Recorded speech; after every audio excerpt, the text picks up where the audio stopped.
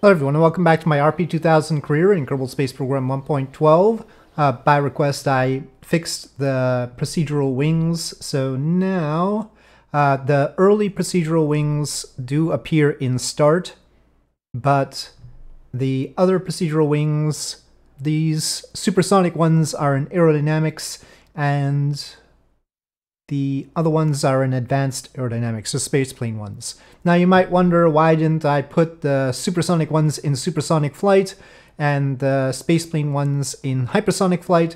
Well, the reason for that is because the wings are actually easier to make than the engines for these things. So in supersonic flight, you've got a lot of supersonic engines.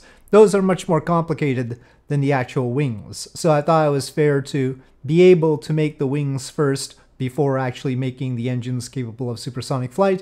And by the same token, the wings for something that uh, can be hypersonic, they're still wings. Uh, so it's just a small advance, really, for spaceplane wings.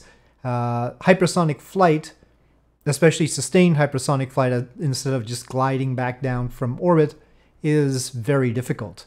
So yeah, that's why I placed them the way they are. And I also fixed the Mars orbit contract that was befuddling. Uh, so now we have a moon orbit contract here and a Mars orbit. What happened was I had uh, accidentally saved the Mars, while I was typing up the Mars orbit contract, saved it over the moon contract instead of saving it as its own separate file. But then I finished up the file. I uh, had a separate Mars orbit contract file, but I didn't realize that I initially quickly saved over the Moon one because I was uh, editing the Moon one to make the Mars one.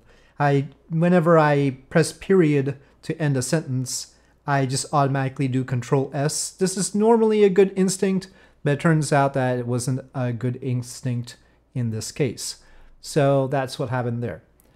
All right, so that is version 0.1.7 of RP2000 that's already on the GitHub. And we can proceed with what we are supposed to do, which is to launch two missions to Mars to fulfill the Mars contract for a stationary orbit around Mars, and then we'll try the crewed lunar flyby. Okay, so 129 days. We will we could build something else in the meantime. Maybe, I mean, we're gonna get into Mars orbit anyway, right? That's just part of it, because, I mean, we've got that satellite contract. Assuming it works, wherever that is. Satellites. So I guess we can get the Mars orbit contract as well. These are repeater contracts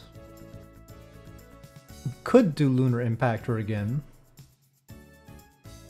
This one doesn't require smacking at high speed. So we could technically do the moon orbit one too. Let's just uh, enjoy the money. Yep, I think I'll take the moon orbit and this lunar impactor. And we're going to, in the second slot, build something to satisfy those. So, just moon orbiter and then smack into the moon. Not super complicated. Uh, we just had that one set, this docking test we can probably modify. Now, we're not constrained by 40 tons anymore, we can just straight up increase the size of this tank. Maybe...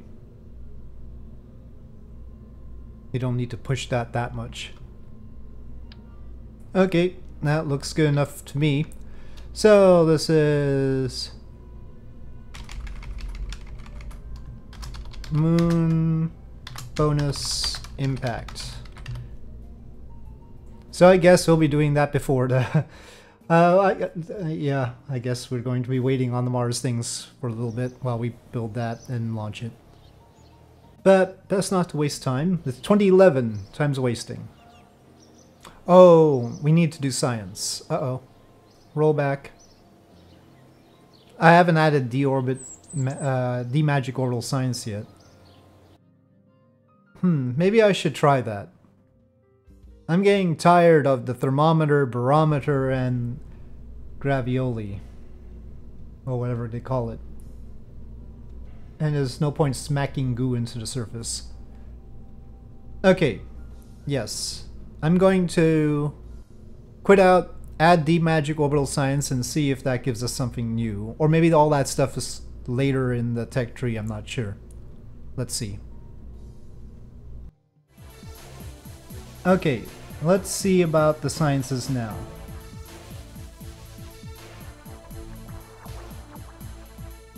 Well, there's that orbital telescope thing. That's good. Maybe there's hope for us.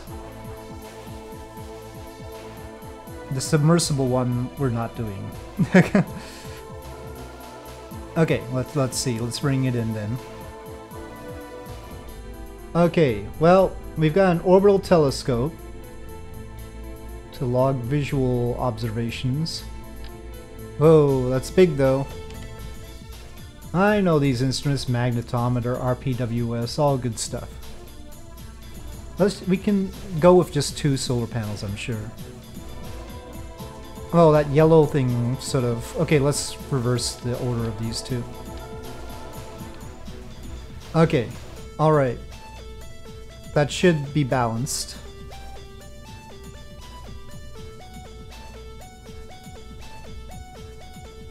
We just sort of need a fairing. I guess we can just go with this diameter for starters. Five minutes. Don't we have a vacuum one of that? We probably didn't when I first made the rocket. Okay, we've we've got an egg rocket. an exciting rocket, if you will. But with the new instruments, its delta V has gone down quite a bit. Hmm. Maybe we can use a little bit more powerful an engine and make that stage a little bigger to be more efficient. Well, we don't have to make it that big, we can increase the utilization. Okay, we will try that. And we'll save it and save it at but we'll need another 26 days it looks like. Okay, finally our little filler mission is ready to go. Okay, throttle up, SAS is on, ignition. Oh, wait, we're not going at the right time. Ah! Where is the moon? Uh, it's awkward. I'm in such a rush because I want to get to the more interesting missions. Okay, well, we are correcting some of the inclination. We'll see what we can do on the launch here. Okay, staging. And I just want the fairing there. Okay, fairing.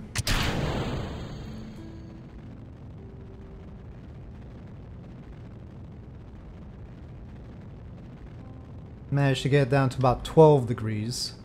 Might not be the best thing. We'd rather actually push the ascending node further away from the moon. If we had the ascending node over there, it'd be better. Let's see. Um, yeah, I think we probably should have just launched normally. To get the ascending node in the right place.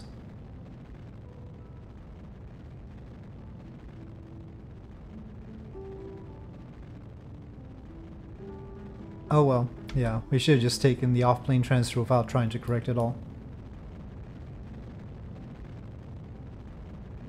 Ah, I didn't put RCS on this stage, but we do need to reignite it too. Well, we haven't done these around Earth either. Okay, 3.6, very modest. So it's not crazy amounts. I do like Kerbalism's science thing. The only problem with it is its radiation thing. I'd use Kerbalism, but the radiation thing is very limiting as far as our capabilities are concerned. The way we can shield from radiation seems like we're not going past Mars with crew, so... Okay, that's an orbit. It's not a great orbit, but it's an orbit. And we have 4,500 left, which should be enough to transfer and capture. But we need an off-plane transfer.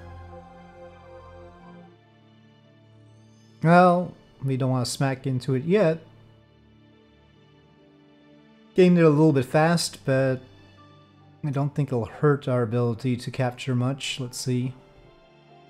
We don't have too much choice on that. It's an off-plane transfer. We get there when we get there. Yeah, it should be okay. We have a transfer, but we don't have any RCS here, so we're just gonna have to light the engine and turn like that. If we need to settle it, we'll use the upper RCS, but I think it'll be alright. Maybe not. It's, it's not a pressure-fed engine. Okay, on we go. Nothing new. Still above water. Alright, staging. Now it's looking like a proper probe, with stuff sticking out. I do like the magic orbital science. Serious time-passing music we've got here.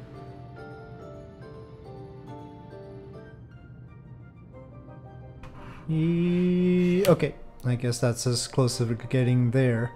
Mid-course correction.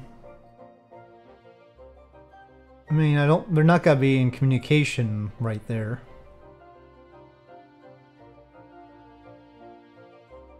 But maybe we can figure it out a little bit earlier. Alright, let's go. Quickly. Such a nice looking probe now that we have the magnetometer boom and the RPWS and everything. Can't trust the power though. On KSP Interstellar and whatever it does.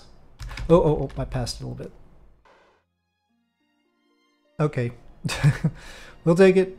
Probably just turning to the sun is going to change that anyway. On we go. Ignore the lack of electric charge. It's fine. It's hibernating. Okay, well that would crash us into the surface. What was the requirement? Not the impactor part. Uh, periapsis between 20 kilometers and 5,000 kilometers, but in orbit. So, I mean, like, we would already fulfill that.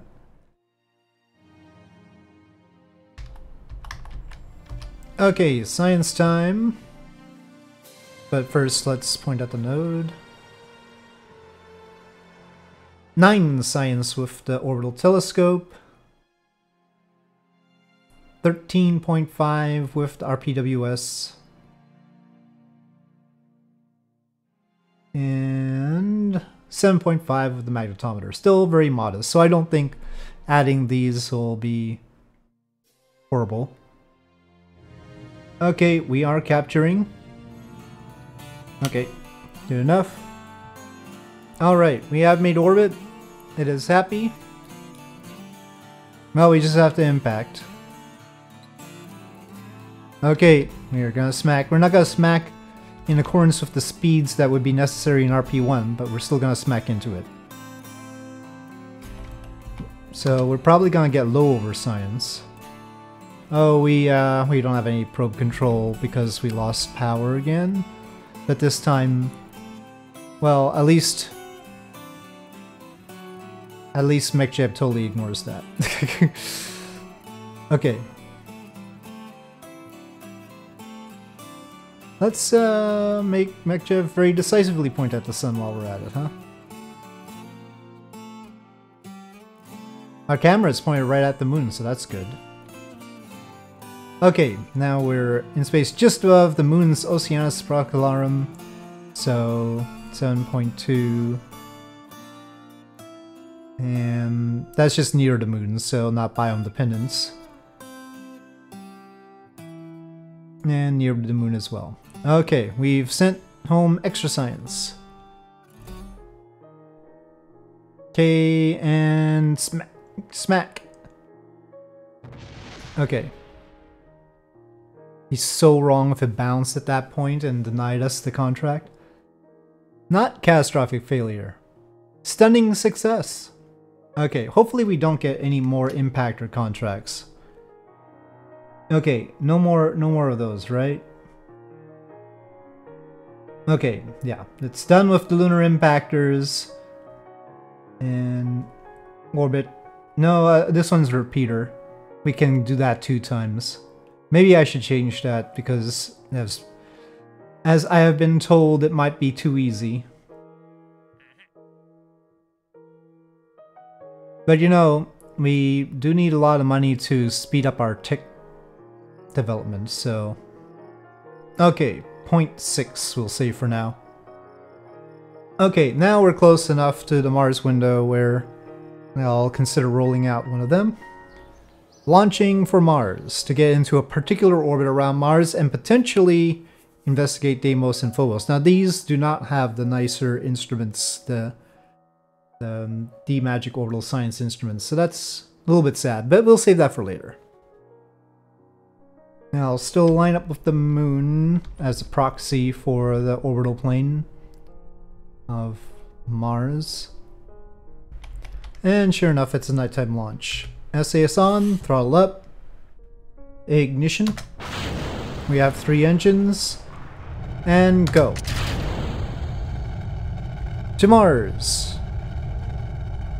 Yeah, I need to figure out how to get the clouds like this over in JNSQ, because right now the clouds there don't look quite right, even though it has environmental visual enhancements and everything. Okay, staging. Alright, okay, fairings. Whoa, something just flew by. Something just flew by. It was part of us. How did it go faster than us, though? Hmm. That's suspicious.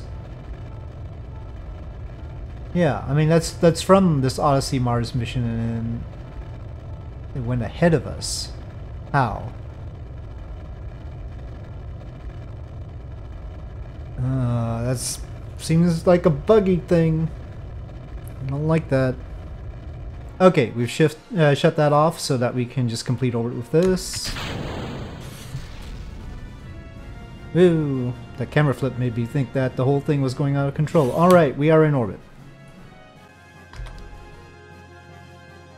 Oh, Japanese HTV. Well, that's no fun. You can't turn it into a pizza slice.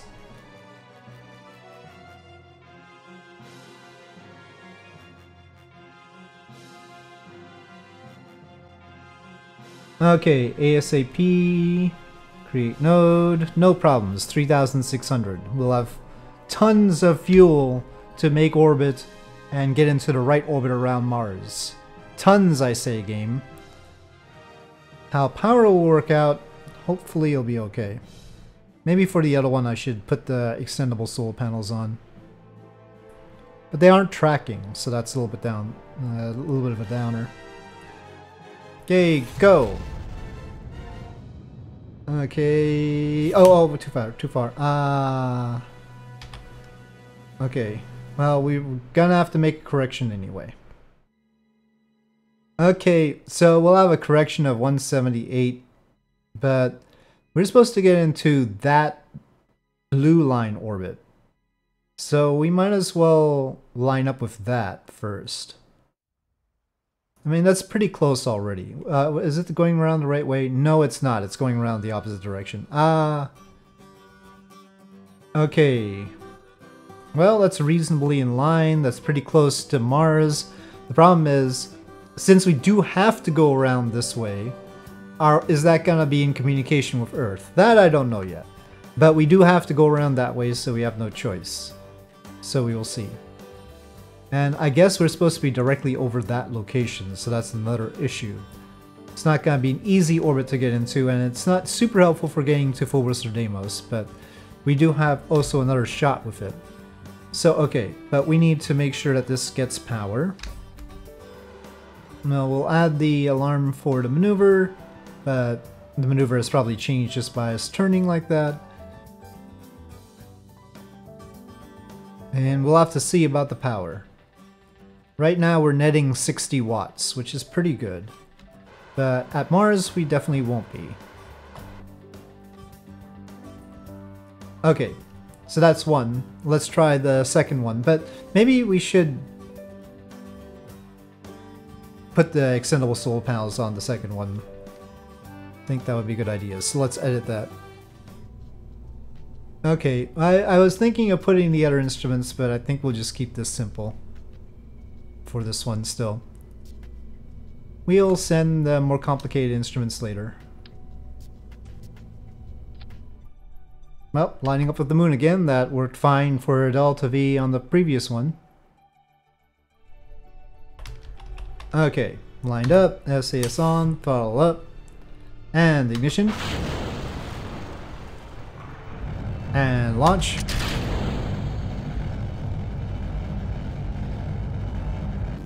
Okay, staging. And fairings. Maybe a little bit early for fairings. Okay. Alright, dumping the stage again.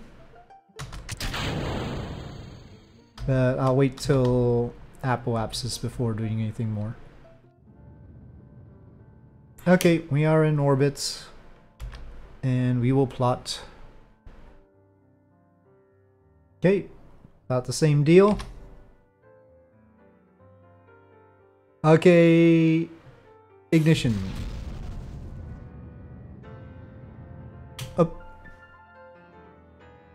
Okay, well, a mere 10 meter per second correction on this one. So yeah, we're in good shape here. Though, of course, once I turn to face the sun, it's going to be all over the place. Because of the little lunar orbit slash impactor combination mission, we didn't get to the crewed lunar flyby, though that deserves its own thing at the start of another session. Now, the crewed lunar flyby is just uh, a test for now. We, we aren't putting any crew in yet. But, you know, even then, it's sufficiently momentous. It's like practically, practically Artemis 1 over here. So. Okay, so our probe is on its, is on its way. Well, we got two of them on their way. Hopefully one of them will work. And yeah, so that's the Mars orbit contract, and we just got that one. But I do want to test as many of the contracts as possible, as soon as possible. We're trying to get through them. And my goal here is to make sure that everything works smoothly. It might be too easy for people, but first of all, let's make sure that nobody gets bogged down anywhere or there's any impassable point in RP2000. And then we could uh, increase the difficulty by adjusting the payouts of the contracts and stuff like that. Uh, for now, it's more important that everybody can actually do what they want to do in the career mode. So I'm testing that that everything can actually work out.